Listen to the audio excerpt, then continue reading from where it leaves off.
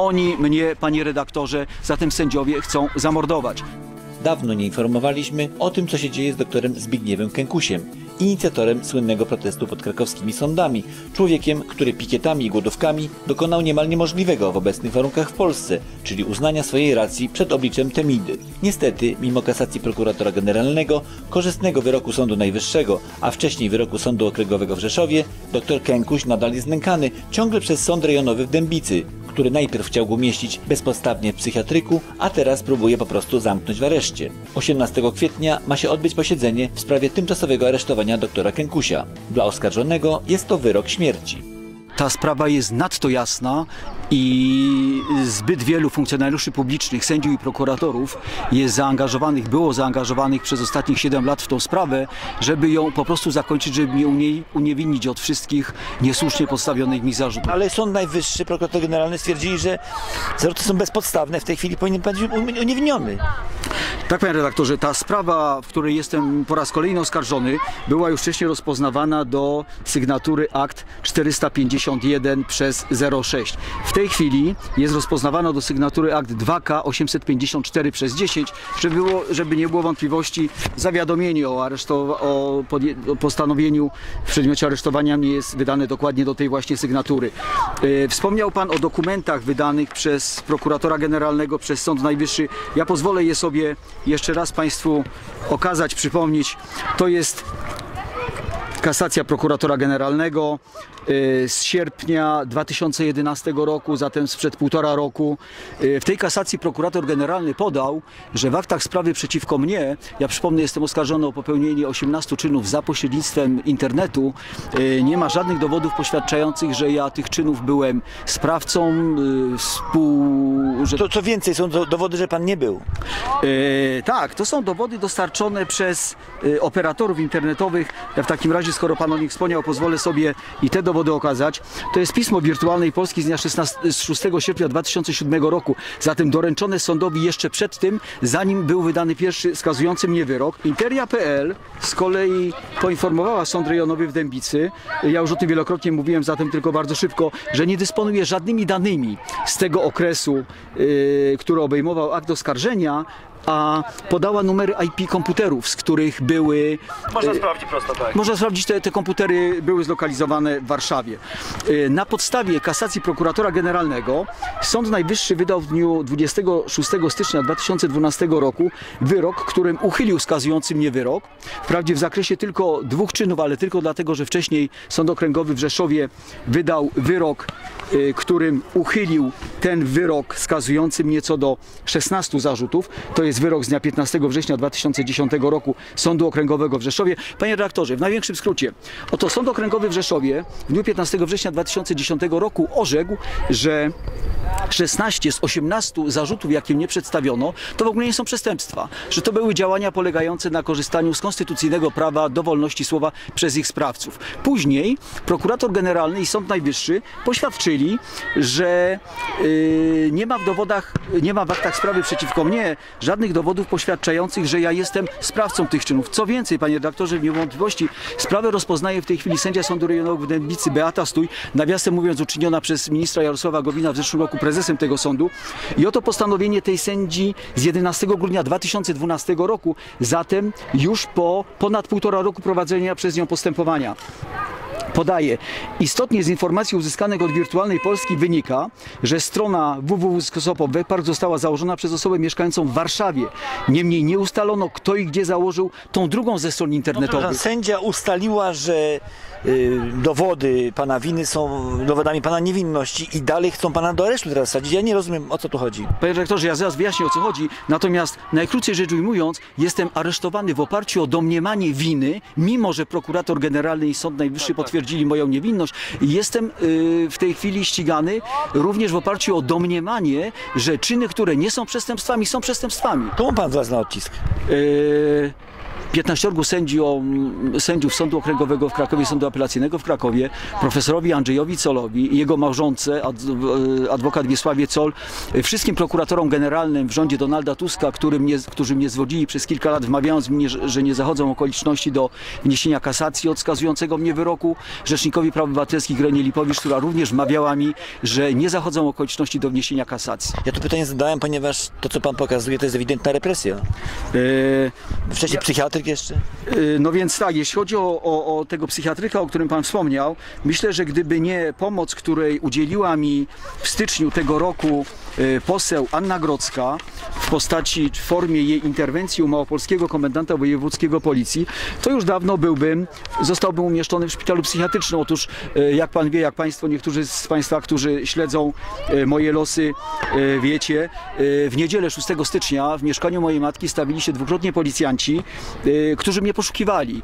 Y, Na prośbę jednej z mieszkanek Krakowa interweniowała w tej sprawie właśnie y, pani poseł Anna Grodzka zwróciła się y, z prośbą o wyjaśnienie przyczyn poszukiwania mnie do Małopolskiego Wojewódzkiego Komendanta Policji i ten, pan inspektor Marek, Mariusz Dąbek, wyjaśnił, że oto poszukiwano mnie, czyli te poszukiwania dotyczyły one zatrzymania i doprowadzenia na badania pana Zbigniewa Kękusia do szpitala specjalistycznego imieniem doktora Jak Babińskiego. stalinizmu normalnie. E, to jest dokładnie, dokładnie te same, to są dokładnie te same metody. E, Małopolski Miejski komendant policji w Krakowie poświadczył, że w dniu 6 stycznia w mieszkaniu, gdzie mieszka moja matka, dwukrotnie byli policjanci z komisariatu 4 policji. Informuję, że funkcjonariusze realizowali polecenie wydane przez Sąd Rejonowy w Dębicy, Wydział Drugi Karny, sygnatura znana Państwu 2K854 przez 10, który w dokumentacji przekazanej w przedmiotowej sprawie do komisariatu wskazał wy- wyżej wymieniony adres. Czyli sędzia Beata Stój, która rozpoznaje sprawę, poleciła policji doprowadzić mnie w niedzielę. Panie redaktorze, w niedzielę nie pracują lekarze, poza tymi, którzy są na dyżurach. Niemożliwe, żeby dwie biegłe wskazane przez e, sędzię Beatę Stój były w niedzielę w pracy. Po co? To było w dodatku święto Trzech Króli. Po co zatem, w jakim celu sędzia Beata Stój chciała mnie umieścić w szpitalu psychiatrycznym z niedzieli na poniedziałek? Yy, odpowiem w tej chwili na pytanie, które pan y, postawił przedtem. Panie redaktorze, wobec tego, czego pan zaczął, że ta sprawa jest tak oczywista wobec wyroku Sądu Okręgowego w Krakowie, y, Sądu Okręgowego w Rzeszowie, wobec kasacji prokuratora generalnego, Sądu Najwyższego, wobec postanowienia sędzi Beaty Stój, wobec dowodów dostarczonych przez Wirtualną Polskę Interię, oni mnie, panie redaktorze, zatem sędziowie chcą zamordować. Przecież to jest oczywiste, Znaczy, za- zamordować w sensie y, mordu rytualnego. w, sędzi, w sensie, jeśli brać pod uwagę, kto uczynił mnie przestępcą i w jakich okolicznościach, y, to są ludzie, którzy cierpią na tak zwane rasowe poczucie wyższości. Y, Patrz, pan profesor Andrzej Col, na przykład, to może być tego rodzaju, tego rodzaju mord. Panie redaktorze, na logikę rzecz ujmując, jeśli ja posiadam dowody poświadczające, wydane przez prokuratora generalnego, przez Sąd Najwyższy, przez Sąd drugiej instancji, za, za, zatem Sąd Okręgowy w Rzeszowie, że byłem skazany za czyny, których nie popełniłem i za czyny, które nie są przestępstwami, to przecież umieszczenie mnie w tej chwili w areszcie jest dokładnie wbrew sądowi, bo odszkodowanie, które mi sąd będzie musiał wypłacić za y, poniesione przeze mnie straty materialne, za, za wyrządzone mi krzywdy, będzie, jeśli wyjdę z aresztu, dużo wyższe niż gdyby sąd wydał już półtora roku temu uniewinniający mnie wyrok. Nie mam co do To się pana po prostu pozbyć i, i nie płacić. Y, Panie redaktorze, y, te straty, o których wspomniałem, to na dzisiaj w moim przypadku jest kilka milionów złotych. Y, Ferajna, y, sędziowie, prokuratorzy, a raczej przestępcy w sędziowskich i prokuratorskich togach doszli do wniosku, że łatwiej mnie będzie, powtórzę jeszcze raz, w pełni świadom tego, co mówię, zamordować, niż poprowadzić postępowanie w zgodzie z przepisami prawa polskiego i europejskiego i wydać uniewinniający mnie wyrok. Przypomnijmy, że już ludzi mordowano w tym kraju w sądach.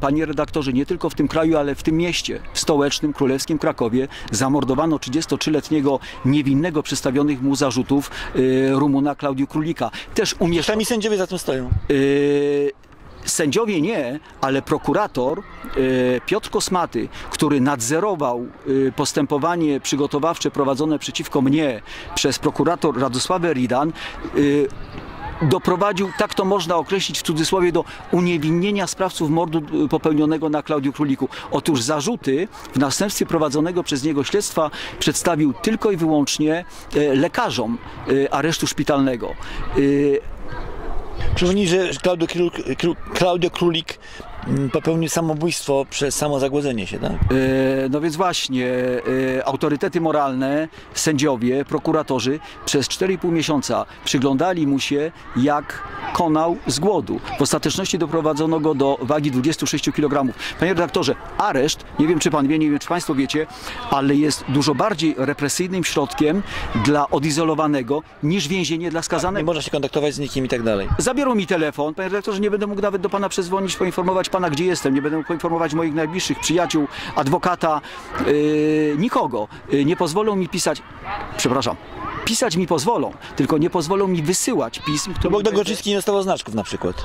No więc właśnie, to są wszystko środki repres- represji, których celem ostatecznym jest niedopuszczenie do tego, co oczywiste, co prędzej czy później musiałoby się zdarzyć, gdybyśmy żyli w demokratycznym państwie prawnym, urzeczywistniającym zasady sprawiedliwości społecznej, jakim ponoć jest Rzeczpospolita Polska y, według y, artykułu 2 Konstytucji Rzeczypospolitej Polskiej. Zatem jeśli y, sprawiedliwi, bezstronni sędziowie wydaliby wreszcie uniewinniający mnie wyrok, A powinni. To pytanie należałoby postawić sędziom Sądu Najwyższego, którzy wydali yy, wyrok yy, przekazujący sprawę do ponownego rozpoznania w oparciu o podane przez nich uzasadnienie Sądowi Rejonowemu w Dębicy. Na to pytanie powinien jeszcze raz w takim razie, panie redaktorze, a może byśmy się wybrali razem do prokuratora generalnego Andrzeja Seremeta i poprosili go o spotkanie, żeby on może jeszcze raz wyjaśnił panu, dlaczego złożył kasację Bardzo chętnie, bardzo od chętnie. skazującego mnie wyroku. Może tego rodzaju materiał umieszczony w internecie przekona wreszcie sędzię Beatę Stój co do tego, że nie ma się co ze mną mocować, bo umieszczenie mnie w areszcie i zamordowanie mnie nie rozwiąże sprawy. Yy, Tym bardziej, że jest tak dokumentowana w internecie, jak teraz. Yy, No więc właśnie, panie redaktorze, powtarzam jeszcze raz. Yy, Ktoś może pomyśleć, zresztą taką opinię wyrabia mi od bardzo dawna pan profesor Andrzej Sol, że jestem chory psychicznie, że jestem niezrównoważony. Ku temu zmierzała sędzia Beata Stój, że to co opowiadam to wynurzenia paranoika. Jeśli zamordowano przez zagłodzenie Klaudiu Królika, mogą ze mną zrobić w areszcie co będą chcieli. Jeśli powiedzą mi, a to nie są tylko i wyłącznie autorytety moralne, że mi wymordują dzieci, to ja spełnię każdą zachłankę, każdego barbarzyńcy i popełnię samobójstwo, żeby ocalić dzieci. Tym bardziej, że pan już obiecywał, że się sam podpali. Eee, No właśnie, tym bardziej, że nie mogąc, e, odwołując się do taktyki polegającej na, czy do sposobu negocjowania polegającym na logicznym rozumowaniu, przekonać e, sędziów Sądu Okręgowego w Krakowie do zgodnego z prawem zachowania, ja zastos- zastosowałem podejście w postaci groźby, które w ostateczności może być wykorzystane przeciwko mnie. Powiedzą, no przecież Kękuś już dawno mówił, że popełni samobójstwo, zatem no w końcu próbował się podpalić. Pan nigdy nie mówi, że chce pan popełnić samobójstwo, z tego co wiem. Yy, tak, ja yy, pisałem w pismach i w materiale, który pan umieścił w internecie, by, yy, ja powiedziałem bardzo klarownie, żeby nie było wątpliwości i tym, którzy takowe mają, radzę wrócić do tego materiału. Mówi, ja mówiłem, że dokonam samo podpalenia, a nie samo spalenia. Samo podpalenie, panie redaktorze, to może być podpalenie kurtki azbestowej i yy, wzniecenie ognia. Jak sąd zareagował na to? Y, Sąd zareagował na to informacją dla mnie pani prezes y, Barbary Baran, że sąd nie ulegnie y, szantażowi, który ja stosuję. A to nie szantaż przecież, tylko ja od sierpnia ubiegłego roku domagam się od sędzi, Rodzaj pikiety. y, domagam się od sędzi Barbary Baran, żeby wreszcie zachowała się wreszcie. Już, już wiem, że pani... Przepraszam panie Zbigniewie, gdyby nie szantaż w postaci protestu pod sądem, pan straciłby mieszkanie. Y, tak, gdyby mnie... W cudzysłowie szantaż. Tak. Gdyby mnie głodował przez 16 dni przed Sądem Okręgowym w Krakowie, to bym stracił mieszkanie. A oni później ze mnie, zatem pani prezes Barbara Baran, pan wiceprezes Michał Niedźwiedź, yy, pani wiceprezes Liliana Zrobili ze mnie oszołoma yy, i nie chcą sprostować, pisałem do, do każdego spośród nich, którzy w różny sposób byli zaangażowani w tą sprawę, nie chcą sprostować nieprawdziwej informacji przekazanej redakcji Gazety Krakowskiej, że ja zanim rozpocząłem protest głodowy, nie składałem żadnych pism, yy, w których powoływałem się na prawo z mocy którego prezes Sądu Okręgowego w Krakowie jako osoba reprezentująca ten sąd mogła wystąpić do komornika z wnioskiem o umorzenie. Panie redaktorze, pytał pan, komu zaszedłem za skórę. Jest taka masa, ja o nich, y, jak pan wie, jak państwo wiecie, mówiłem, że to są mściwe tumany. Y, Ja muszę zrewidować to określenie. To nie są mściwe tumany, tylko to są tumany mściwe. To są ludzie, którzy są tumanami, którzy są ignorantami, którzy przez całe lata z racji tego, jaki zawód wykonują, który ich do niczego nie zobowiązuje, a przede wszystkim nie zobowiązuje ich do uzupełniania kwalifikacji, robią z nami co chcą, y, obrażają nas, y, znieważają nas, okradają nas, oszukują nas, w ostateczności zabijają nas, umieszczają nas w, szpitala, w szpitalach psychiatrycznych, a jeśli im udowodnić ich ignorancję, to wtedy się właśnie mszczą. I stąd to moje określenie zmiana z mściwych tumanów na tumany mściwe. Panie Zbigniewie, ludzie się pytają, co się stało z Pana pod- podaniem o azyl polityczny. Yy, Nie wiem, czekam cały czas na odpowiedź yy, z ambasady Norwegii. Yy, Czekam od stycznia tego roku, zatem już ponad trzy miesiące. Czy Pan dostarczył to za- zawiadomienie o posiedzeniu w sprawie aresztowania Pana jako dowód na, na, na, na terroryzm po prostu państwowy? Nie miałem czasu. Ja to zawiadomienie o posiedzeniu, które ma się odbyć pojutrze, odebrałem w ostatnich dniach. Zatem natychmiast pisałem pisma które złożyłem innymi do Sądu Rejonowego w Dębicy. Pojechałem e, w dniu wczorajszym, stawiłem się o 8.20, złożyłem pismo i poprosiłem prezesa Sądu e, Rejonowego w Dębicy, Beaty Stój, żeby mi wyjaśniła, dlaczego sąd w sprawie przeciwko mnie w ogóle proceduje, jeśli nie został rozpoznany mój wniosek z pisma, które zostało złożone w dniu 8 stycznia e, w Sądzie Rejonowym w Dębicy i które zawierało wniosek o wyłączenie sędzi Beaty Stój. Jest to tak na dzisiaj, że sąd nie rozpoznał mojego wniosku o wyłączenie sędzi Beaty. Nielegalnie, nielegalnie Oczywiście, że tak. Nie doręczono mi postanowienia y, w sprawie złożonego przeze mnie wniosku, a sąd chce procedować w sprawie umieszczenia mnie. Wielokrotnie mówiliśmy, to jest gorzej niż Białoruś. Y, Myślę, że tak. My się bardzo często żalimy na to, na to co się dzieje na Białorusi. Myślę, że w Polsce jest y, w tej chwili y, chyba gorzej. Złożyłem również pismo w dniu wczorajszym, y, 15 kwietnia, y, kierowane do Sądu Rejonowego w Dębicy, Wydział Drugi Karny, zatem do tego wydziału, który rozpoznaje sprawę przeciwko mnie, y, w którym podałem pouczenie w związku z tym zawiadomieniem, o którym dzisiejszy materiał, y, w sprawie polskiego i europejskiego prawa w zakresie stosowania tymczasowego aresztowania. Panie redaktorze, ja pozwolę sobie zaprezentować to prawo i Państwu też może się przydać. Artykuł 249 Kodeksu Postępowania Karnego, który się stosuje odnośnie środków zapobiegawczych, w tym aresztowania tymczasowego. W paragrafie pierwszym stanowi: Środki zapobiegawcze można stosować w celu zabezpieczenia prawidłowego toku postępowania, a wyjątkowo także w celu zapobiegnięcia popełnieniu przez oskarżonego nowego ciężkiego przestępstwa. Można je stosować tylko wtedy, gdy zebrane dowody wskazują na duże prawdopodobieństwo, że oskarżony popełnił przestępstwo. W mojej sprawie, w sprawie przeciwko mnie, nie ma żadnego prawdopodobieństwa, że ja popełniłem przypisane mi Czyli jest duże prawdopodobieństwo, że pan nie popełnił. E, Prawie pewność. jest pewność, że ja tych czynów nie popełniłem. Ergo, panie redaktorze, żeby Skarb Państwa nie musiał ponieść kosztów niekompetencji, ignorancji masy funkcjonariuszy publicznych, trzeba mnie, powtórzę jeszcze raz, na dobre, na trwałe unieszkliwić, żebym nie pisał pism, na przykład takich jak to, które złożyłem również w dniu wczorajszym w biurze poselskim posła Jarosława Gowina, a wcześniej skierowałem do pana Jarosława Gowina jako ministra sprawiedliwości. To jest wniosek o przeprowadzenie przez ministra sprawiedliwości postępowania wyjaśniającego w sprawie przyczyn zorganizowania w dniu 18 kwietnia przez Sąd Rejonowy w Dębicy posiedzenia w przedmiocie zastosowania wobec mnie środka zapobiegawczego w postaci tymczasowego aresztowania. Yy, yy, to pismo złożyłem, skierowałem do pana Jarosława Gowina jako do ministra, jako do, pis, do, jako do posła, dlatego że pan e, Jarosław Gowin stosuje e, bardzo cwaną, sprytną zasadę. Jakiego pisma by do niego skierować, to on cały czas odpowiada, że on nic nie może. To jest nieprawda. Jak Państwo doskonale wiecie, w mojej sprawie bardzo skutecznie interweniował poseł Zbigniew Wasserman i poseł e, Bronisław Komorowski. Na tyle skutecznie, że zmusili obaj do działania, e, do podjęcia interwencji e, ówczesnych ministrów sprawiedliwości. Pan, panie Jarosławie Gowin, w tej chwili realizuje bardzo cwaną, bardzo sprytną strategię e, zbijania dla siebie kapitału politycznego. E, Kpi pan z mniejszości seksualnej, chcąc zyskać dla siebie poparcie e, większości katolickiej Polski. E, W Polsce nie przeprowadzono badań, ale według mojej wiedzy w krajach, w których te badania prowadzono, homoseksualiści stanowią nie więcej niż 1,5-2% ogółu populacji. Załóżmy, że tyle samo jest ich w Polsce. Pan, panie Jarosławie Gowin, nie zajmując się tym, co najważniejsze, gnębieniem, krzywdzeniem e, ludzi, e, korzysta z popularności, jaką przynosi panu posługiwanie się określeniami, jak na przykład małżeństwa paraseks, yy, paramałżeństwa homoseksualne. Czy też mówi pan, że odróżni pan trawę niebieską od trawy zielonej i trawa nie jest niebieska, tylko zielona, yy, powołując się, czy tłumacząc, że przecież małżeństwo osób o tej samej płci to nie jest to samo, co małżeństwo osób o różnej płci. O tym wszyscy wiemy. Panie Jarosławie Gowin, niech się pan weźmie do rzetelnej pracy dla Krzywdzi ludzi. a nie pomaga w krzywdzeniu ludzi. Na dzisiaj pan, panie Jarosławie Gowin, jest patronem złodziei, oszustów Być może morderców.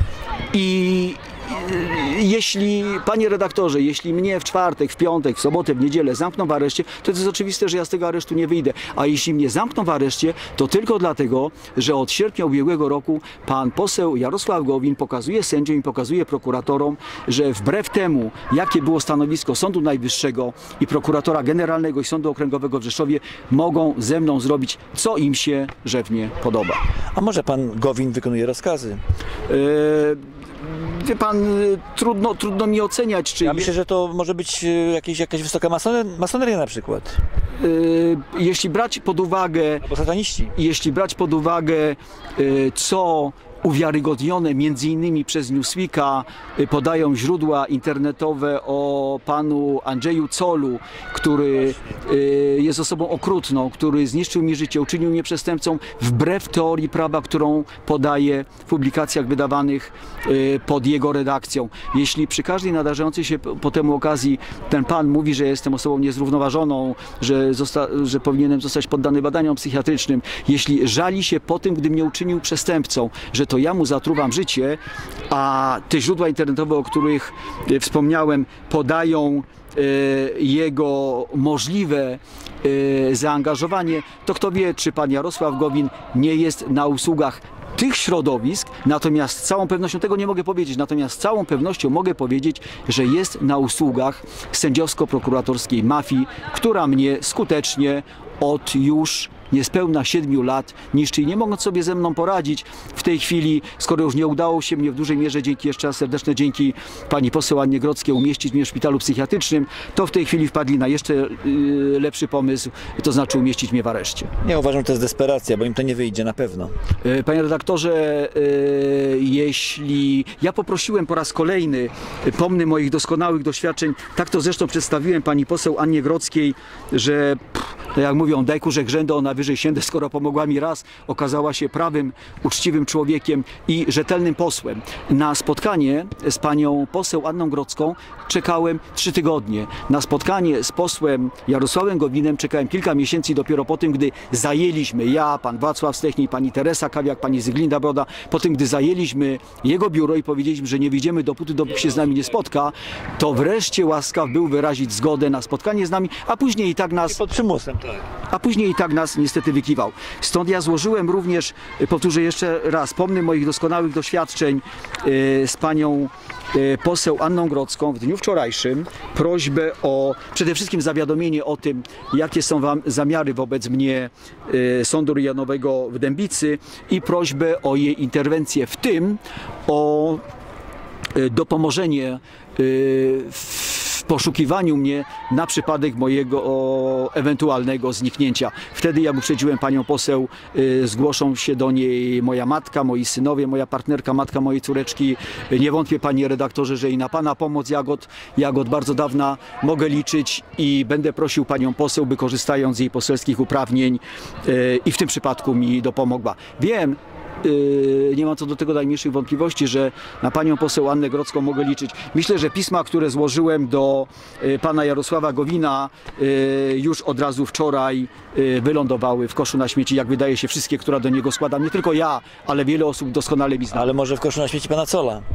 E, znaczy wie pan, no mówi się, że, że ci panowie, ale akurat to i wolno robić, spotykają się gdzieś tam razem na kawę. To jest, panie redaktorze, krakówek. Dlatego tak ciężko jest się przedrzeć przez wymiar sprawiedliwości, nawet jeśli człowiek jest uczciwy w Krakowie. Zresztą identyczna sytuacja jest, jest z Warszawą. Przecież jeśli ja e, przez wiele lat tkwiłem w statusie skazanego, to nie tylko z powodu prokuratora, która wydała akt oskarżenia przeciwko mnie i sędziego Tomasza Kuczmy, który mnie skazał, ale też i dlatego, że prokurator generalny Zbigniew Ciąkalski, że prokurator generalny, Andrzej Czuma, że prokurator generalny Krzysztof Kwiatkowski palcem w, butem, w bucie nie kiwnęli w zgłaszanej im sprawie nie tylko przeze mnie, ale w przypadku e, prokuratora generalnego Andrzeja Czumy przez e, posła Zbigniewa Wassermana, a w przypadku prokuratora generalnego Krzysztofa Kwiatkowskiego przez e, marszałka Sejmu Bronisława Komorowskiego. Prokurator generalny Krzysztof Kwiatkowski, kreowany, lansowany na jedną z najwybitniejszych postaci e, w Platformie Obywatelskiej, oszukał.